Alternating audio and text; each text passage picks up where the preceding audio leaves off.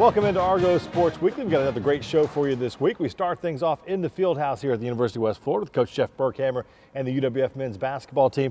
Fresh off coming back home and grabbing a couple wins this week. I know it felt good to be back in the field house. Big games for us, Will. They, uh, they were really big games. Had to get two home games, played well, really both nights, defended well, and found another way to win kind of different ways of doing it, and these are games that you needed to have. We talked with you last week. I know it was a disappointing trip up to Alabama, but you get back home, you know you these are victories that at this part of the year in the GSC schedule you have to have. West Georgia comes in on a Thursday, and it's kind of that traditional game with the Wolves. Well, they're a good team. They're, they're a team that's probably better than their record indicates. They've got a couple outstanding players.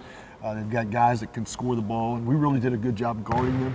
And then uh, opening the game up, and then held on a little bit late in the game. But a good win for us at home, a game that gives us a little bit of separation. That game on the Thursday night was a game you were missing a couple of players, uh, body-wise a little bit yeah. short, and you needed some guys to step up and come off the bench and give you something. I thought you really got that from Brett Carter Jr. and Arafat Shibu. Well, Arafat was tremendous. He, uh, he had 13 rebounds, really played well. We were playing without Tariq McKelvin and Lawrence Williams. So uh, losing two of our probably top six or seven guys uh, and, and, getting those guys to come in and play that well and, and really have pretty good control of the game throughout was great. John Brown, Cameron Cox, I thought, especially down the stretch, really pushed you as they do, kind of night in and night out. You had to have them and, and really had that run right at the end, in the last two minutes, last minute of the game. You score the final six and pull out the victory. Well, those two guys have been terrific all year. They've been solid. They've been consistent with what they're, they've done on the court. Uh, two guys that are veteran players that we, we feel like that's where the ball's going to be probably late in the game, and they've been able to come through.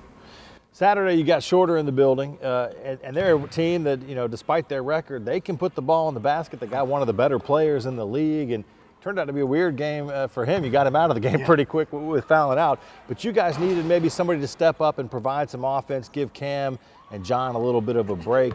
Brett was able to do that, comes in, and, and when he's hot, boy, it looks good coming out of the hand. he did shoot the ball really well. We, we, uh, we got him a look right when he came in, first uh, possession of the game, and he hits it. and uh, he really felt good after that, shot the ball well, got us a lead. Uh, but you're right, we were playing against one of the best players in the league. Corey Wilson, I think, is a terrific player, and we attacked him a little bit defensively, made him have to guard, and we were able to get him some foul trouble. And, uh, getting him out of the game, I think, helped us some. But uh, Brett coming into the game was a big, big uh, plus for us in this in this one.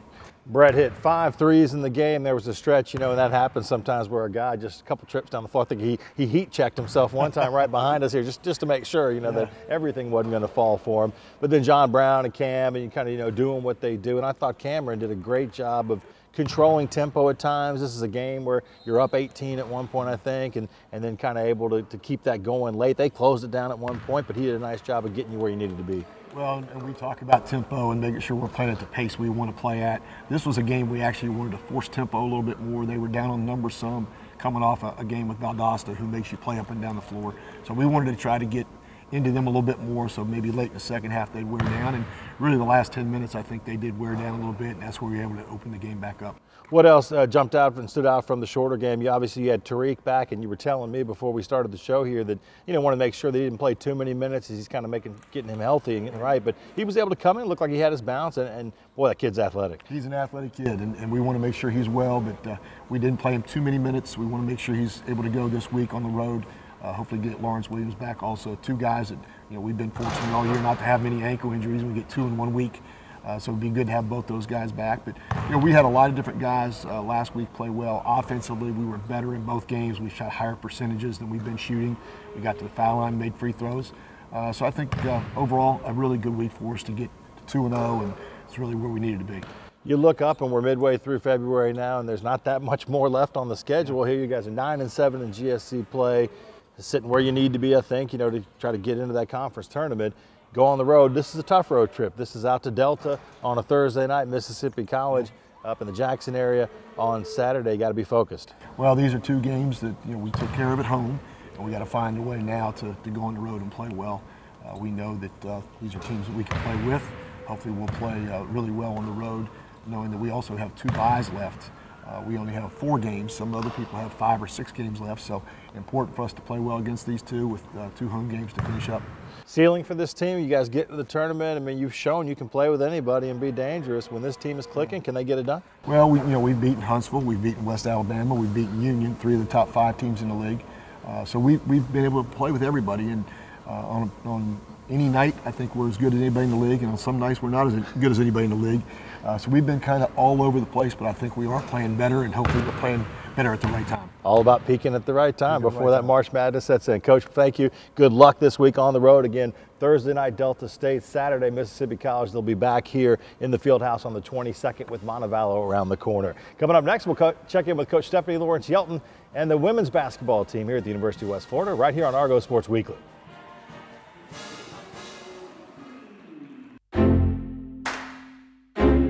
Real change occurs in that split second, a moment of connection among people.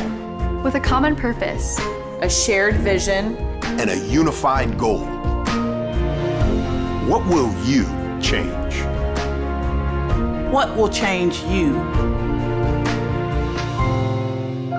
The University of West Florida. No limits.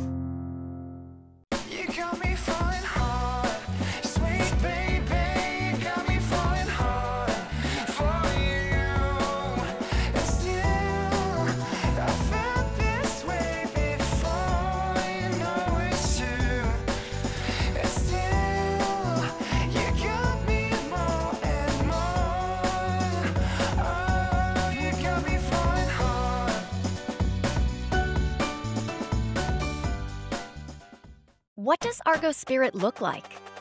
Is it finding the perfect Argo outfit to show your team pride? Is it giving back while getting your pre-game grub? Or is it connecting with your community in the perfect spot? At Pen Air Federal Credit Union, it's being a proud sponsor of UWF Education, the Alumni Association, athletics, Pen Air Field, and having a spirit of communerosity. Learn more at penair.org slash about us. Welcome back into Argo Sports Weekly. Time to turn our attention now to women's basketball. Coach Stephanie Lawrence Yelton joins us now. Coach, coming off uh, two home games. Uh, Always nice to be back home, kind of in the friendly confi- confines. And Thursday, Friday is usually the split. You guys had West Georgia in on a Thursday night. A little bit of a, of a tough one as you're trying to incorporate some new elements into the team. You know, figure out do we have enough practice time to get some of these new players involved. And, and I know West Georgia's a good basketball team as well come up a little bit short on that end, but a great game from Faith Franklin. In fact, sets a new career high for her. Yeah, Faith is really coming on strong here the latter part of her senior season. And that's what seniors do. You know, they really up their game and, and play well uh, late in their season. So uh, proud of her and the effort, the leadership she's showing. Uh, but you mentioned the two new kids, you know, the, the two volleyball girls we added late, uh, only been a part of the program for a couple of weeks. Uh, both got into the game and got to play against West Georgia. So that was a, a, a lifting point for us and a good night for them. I know it's kind of cool because you actually had, you know, the volleyball program was up Oh, in the yeah, stands yeah. and they were just ready to, to kind of explode when they got into the yeah. game, even for a minute late, kind of that thing. That's kind of cool, though. It is, and but we needed them. You know, we were at a point in the game where West Georgia plays a very uh, fast, up-tempo game, and we had a couple of kids that were really spent, and uh, there were no other subs on our bench other than our volleyball kids. And so, you know, we throw them in to give a couple of our more uh, experienced players a break, and it did. It gave them a good break, and we were able to kind of keep pushing in the game. Faith wasn't the only one that had a good game against West Georgia. Danielle Norquist again, 10 points, 16 rebounds. That double double thing. I mean, we thought it, you know, last year with Tony, it was Tony Brewer. It was kind of like, wow, this is something special. Yeah. You're seeing it again, and, that really, I, we may take it for granted. It, is not easy No. to do. No. Well, and at this point in the season, everybody is gearing for her. They know that she is the double-double, you know, player on our team. She is our leading scorer. So she's getting the toughest assignments from the other squad. She's going against kids that are more athletic than she is. They maybe play a different position than she does, uh, but she's still able to contribute night in and night out. Now she's on the brink of beating Tony's record for the most double doubles in a season. So uh, maybe this week she can get that. She had the one Thursday. Saturday, you guys turn around, you bring Shorter in. It is National Women in Sports Yeah. Day. It is Play for K Day. Good crowd again on hand for that game. And I, I thought it was, you know, really cool again in the fact that you got to see some outstanding performances. Rachel McCree didn't play great on Thursday night, and, and I'm thinking back to the, the Pistons. You, will remember Yeah. this, you know, the, the Pistons teams that won titles. Vinnie the Microwave Johnson That's was a player that came off the bench and sometimes started, but he could put points on the board in a hurry. Yeah. Rachel McCree did that for you, especially in a first half run where she just caught fire. Yes, and you know we've been waiting for that performance from Rachel. We know that's what she can bring to the table. But man, when it when it, when she's hot, she's hot. And uh, we were encouraging her teammates. Let's let's make sure we find her. Let's make sure you have an eye on her, especially in transition when she lets loose.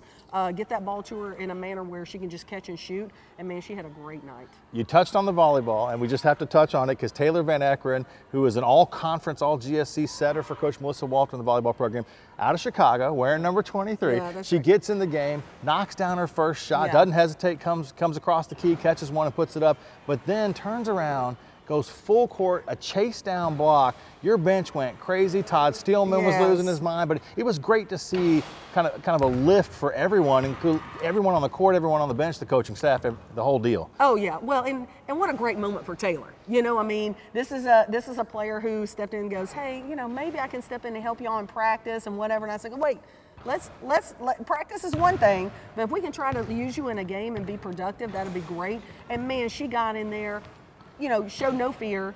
Taking good open shots, hustling our way. I mean, it's it, it's been it's been great. And um, Taylor and Zoe from volleyball have really uh, brought a positive, uplifting kind of attitude to our team. To a season what, what's it's been really hard this season. It's been hard to keep the team spirit up and keep them focused on the next opportunity in the next game. And those two have come in and uh, and really brought a um, more of a laid-back, positive approach, and it's been fun. Finish strong, keep some momentum going into next year. Coach, Yeah. good luck to you guys this week. Thank you. Coming up next, we'll check in with softball and baseball as they've got their seasons open and underway right here on Argo Sports Weekly.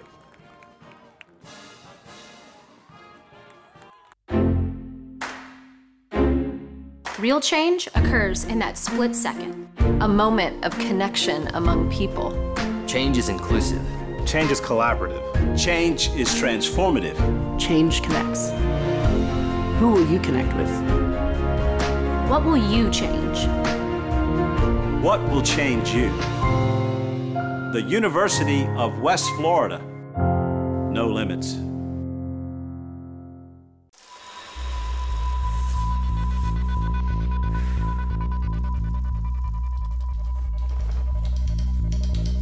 Who measure success by the worn tread on their tires, and those who strengthen their body and mind and drift through their weekends over nature's current.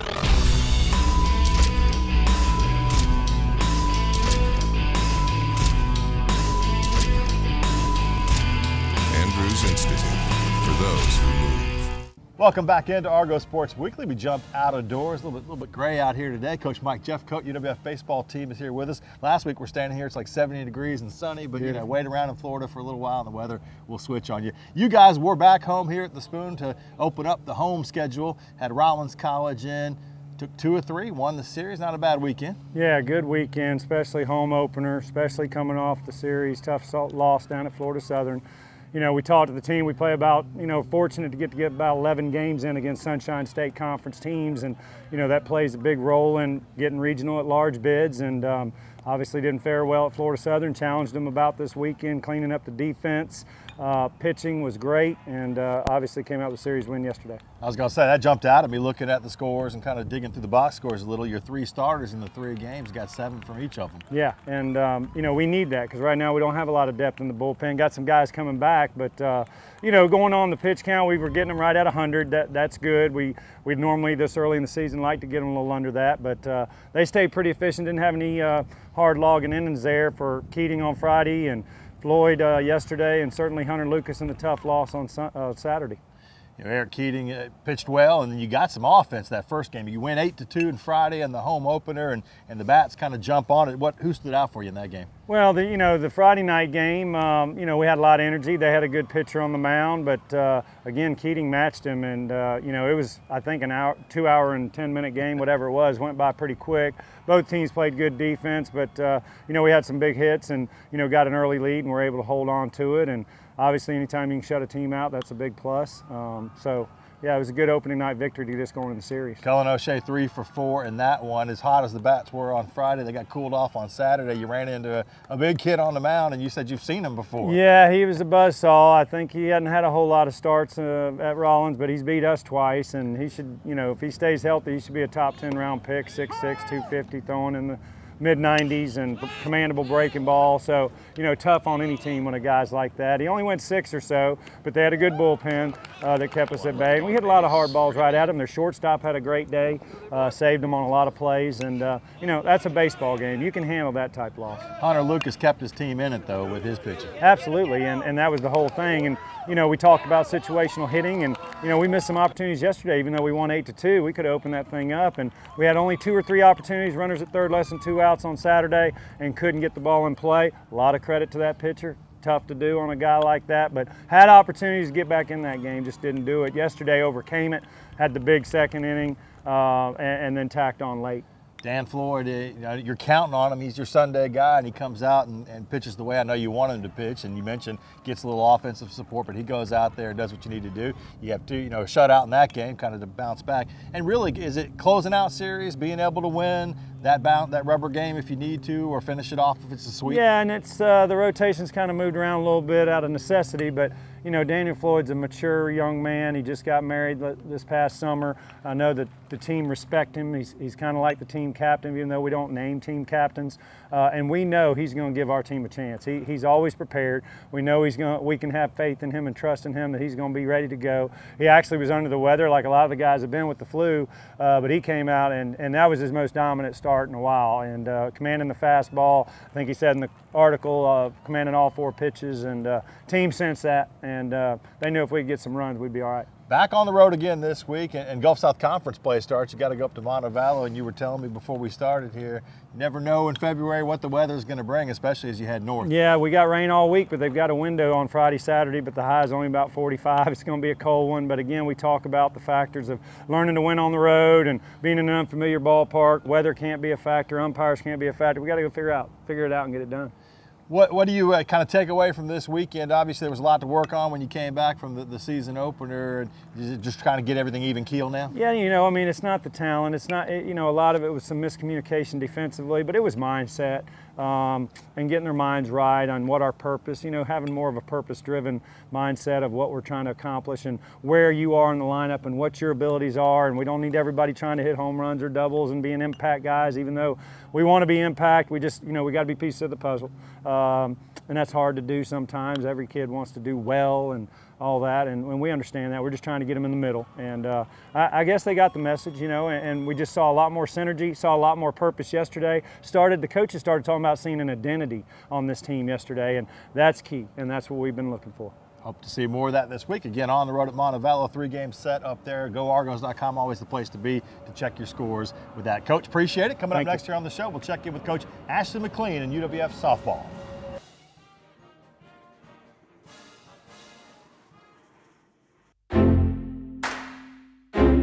Real change occurs in that split second, a moment of connection among people. With a common purpose, a shared vision, and a unified goal. What will you change? What will change you? The University of West Florida. No limits.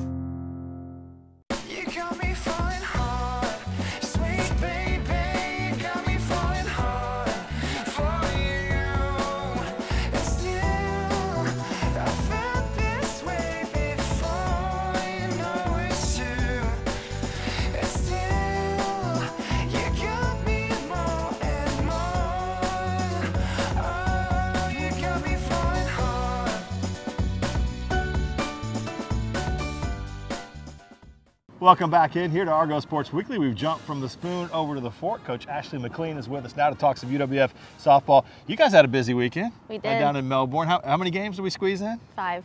Five games, four and one, which is not bad. And again, seeing some of the, the competition, some of the better teams around that you saw over in Gulf Shores. And Mhm. how is that playing some teams this early multiple times?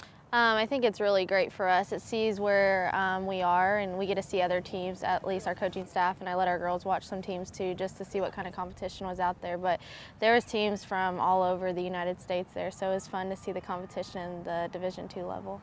What stood out for you from this tournament down in Melbourne? I mean, obviously to win four games is great, but were there particular games, particular stretches that, that kind of jumped up for you as a coach? Um, I think what stood out the most is our heart and energy. You know, we went into extra innings with um, a couple teams down there, and you you just saw that fight from the girls, and that's what you want to see early on to see what this team's all about and what they can do. So that was a pretty exciting thing that we got to see.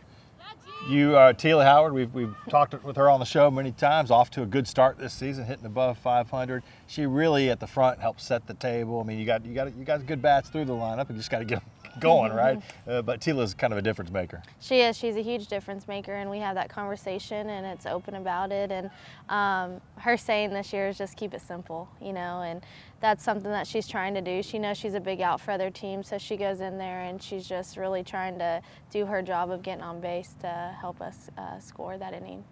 Kelsey Sweat, Grace Gilbert, both you know fantastic seasons last year, and you run all the way to the College World Series. So you've got those two experienced pitchers back. For them, what are they trying to do early in the season? Is it just trying to get dialed in and kind of get back to where they were? I think Gracie Gilbert, I mean, she's hot right now on the mound. She's kept us in a lot of big ball games for us. Kelsey Sweat's going to come around, you know, she's uh, she didn't have her best weekend, but I know she's going to uh, have it. So she's a very talented pitcher. And then we had our freshman come in in a big, big game for us. And, you know, it showed a lot what she had. So I'm really excited to see what she's going to bring this entire year. And you, you were telling me before we started, uh, those weekends are long weekends. You're playing early, you're playing late. You got to get out of the hotel early before the game uh, on Sunday. Now, though, we get into the conference schedule. You guys are going up to Montevallo for, for three games coming up here this week. You got to dodge some weather, as we talked about with baseball a little bit, you know, making sure that mm-hmm. it's not too cold and too wet and all that kind of stuff. But the conference is always important, and you know everybody's looking to, to get you.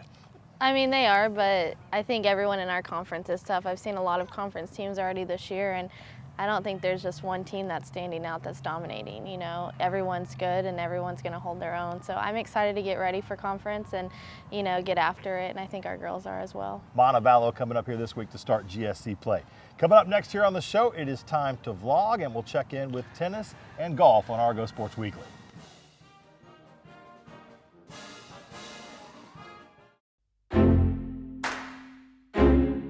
Real change occurs in that split second. A moment of connection among people. Change is inclusive. Change is collaborative. Change is transformative. Change connects. Who will you connect with? What will you change? What will change you? The University of West Florida. No limits. What does Argo Spirit look like? Is it finding the perfect Argo outfit to show your team pride? Is it giving back while getting your pre-game grub? Or is it connecting with your community in the perfect spot? At Pen Air Federal Credit Union, it's being a proud sponsor of UWF Education, the Alumni Association, athletics, Pen Air Field, and having a spirit of communerosity. Learn more at penair.org slash about us. Welcome back into Argo Sports Weekly. Each week we like to check in with our vlog crew. This week, Maya and Megan Grace hit the road with basketball for a trip up to Livingston, Alabama, and spent some time with baseball tailgating. Hello. Hey Megan Grace, where are you? We're doing the intro of the vlog. Oh, I'm just hanging out at the field house. Where are you? I'm in the second row, middle bleachers. Oh. I'm in row F. Oh, I see oh, you. Maya. Hey, sorry, come film it. So, Megan Grace, what are we doing this week? If you don't remember, we traveled to West Alabama for the women's and men's basketball game. And then we hung out uh, at the baseball home opener tailgate. We yeah. did. That yeah. was pretty cool. Let's get swinging. Hey Argos, I'm here with Laura from Alpha Chi Omega, and today we're hanging out at the baseball tailgate for the home opener. Laura, how are you feeling about the baseball season this year? I'm actually feeling really good, but I was thinking we could switch it up today, and I would like to interview you, Megan Grace Gibson. I've prepared a few questions for you. Which baseball inning is your favorite? Probably the fourth. What would be your walk-up song? Oh, that's a good one. Maybe like Crazy Frog by Axel F. Crazy Frog, I can see it. Okay, what is your favorite stage of the cell cycle? Mitosis? Is that right? How many baseball games have you won personally? Personally, I'd like to say I like to keep it humble. I don't really like to tell people a lot, but I've won around 2,000. Thank you. Thank you for interviewing.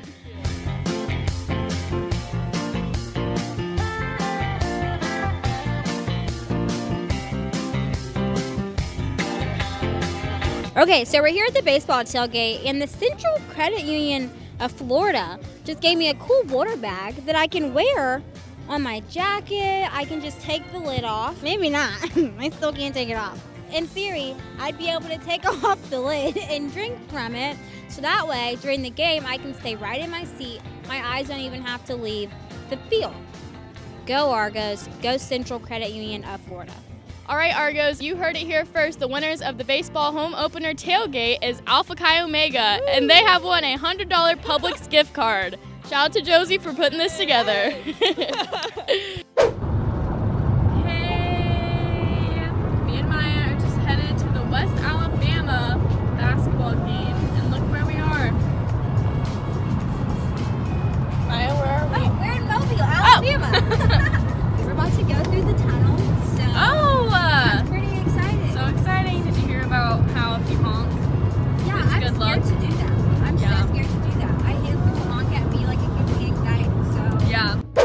have about an hour and 18 minutes left, so we're doing pretty good on time. Yeah, you know, we're gonna try to get there as early as we can, maybe have a pep talk with the girls, because honestly, what will inspire them more than me and Maya?